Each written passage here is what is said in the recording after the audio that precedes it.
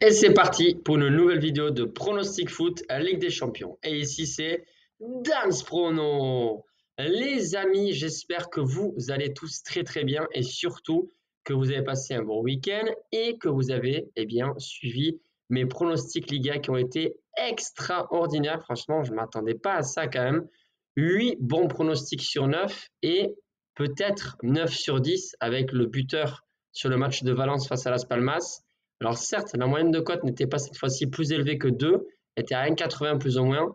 Mais franchement, 8 sur 9, quel week-end de folie. J'ai également donné eh bien, un pronostic, enfin mon pari sportif personnel sur le championnat d'Europe de tennis de table qui est passé, une belle cote à 2,45. Et en plus, sur les groupes privés, ça a été 100% eh bien, de réussite sur le samedi. Dimanche, il y a un seul pronostic qui n'est pas passé.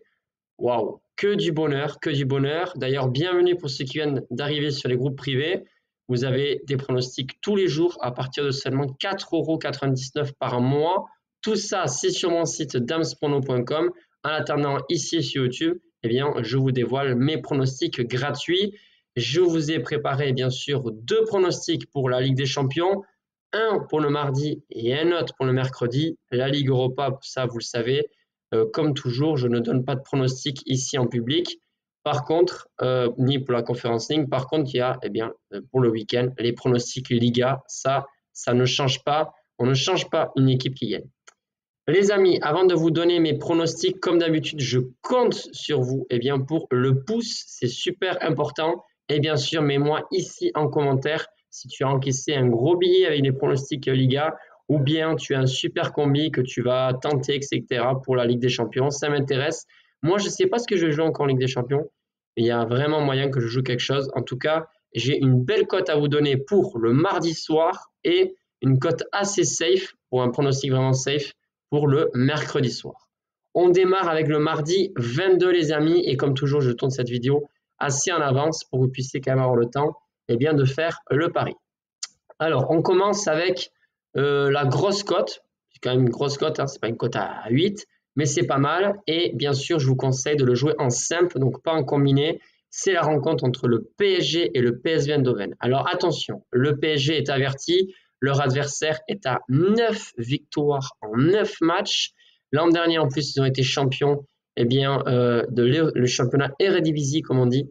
Je me rappelle encore quand j'étais sur PES, moi quand j'avais 10 ans, 12 ans, j'étais à fond et je voyais ce nom Eurodivisie, c'est le championnat néerlandais, et le PSV Eindhoven qui était, euh, il me semble, avec Van Nistelrooy et tout ça, c'était énorme. Enfin bref. Tout ça pour dire, le PSV Eindhoven, c'est une grosse équipe, ça enchaîne les succès, ça marque pas mal de buts, et surtout, eh bien, il y a des joueurs d'expérience, même si c'est vrai qu'il y a 6 ou 7 absents. Voilà, il faudra faire gaffe à cette équipe. Je pense que le PSG va faire un match sérieux. Voilà, c'est ce que je pense. Bien sûr, avec eux, on peut s'attendre à tout. Hein. Euh, un match très très moyen, voire faible, ils gagnent. Ou alors un, excellent match, mais finalement ils prennent un rouge ou à cause d'une bêtise ou deux, ils ne gagnent pas le match. Moi, je pense qu'ils vont être sérieux. Je les vois s'imposer à domicile, mais leur défense est assez fébrile. Ok, Kim, Kim Pembe n'est pas là, mais il y a aussi eh bien, quelques éléments à prendre en compte qui font que euh, il y a quand même de grandes chances finalement que le PSV marque.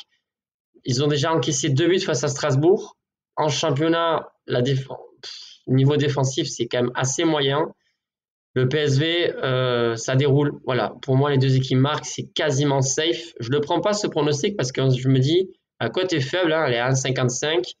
Et en plus, il suffit qu'il y ait un carton rouge et ça passe pas. Voilà. Mais je vois bien le PSG faire un match sérieux. Voilà.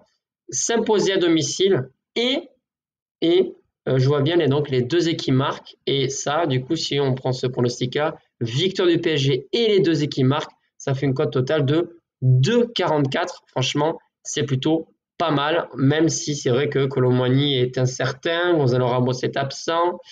Alors, on va voir, euh, on va voir qui pourra marquer avec le PSG, mais il y a des éléments très très bons, hein, comme Dembélé qui revient, qui va, à mon avis, avoir faim en Ligue des Champions. Barcola, on peut compter sur lui. Enfin bref, il y a quand même de quoi faire euh, en attaque. Nous passons donc au match du mercredi soir. Et attention, le match du PSG, c'est bien à 21h, mais le match du mercredi soir, pour être précis, c'est bien à 18h45, l'affiche entre Brest et le Bayer Leverkusen. Alors attention, Bayer Leverkusen, ils sont favoris, mais À mon avis, ils vont, ils vont prendre ce match très au sérieux parce qu'ils savent que Brest, ils n'ont rien à perdre. Ils sont en pleine réussite. Euh, ils sont en forme. Enfin bref, c'est assez impressionnant tout ce qu'ils font.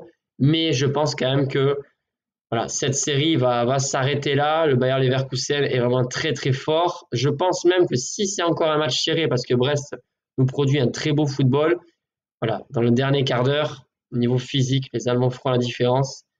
Donc je pense vraiment que les Allemands vont s'imposer. Pour moi, c'est safe et je pense que je le prendrai comme pari sportif. En combiné peut-être parce que la cote est, assez basse. C'est la victoire des visiteurs, donc victoire du Bayer Leverkusen, cote à 1,50. Voilà les amis pour ces pronostics Ligue des Champions. Je proposerai bien sûr plus de choses, plus de contenu pour les groupes privés. En attendant, on croise les doigts pour eh bien, ces pronostics et je vous souhaite eh bien, une très bonne semaine. On se retrouve très très vite pour les pronostics Liga. Bye les amis.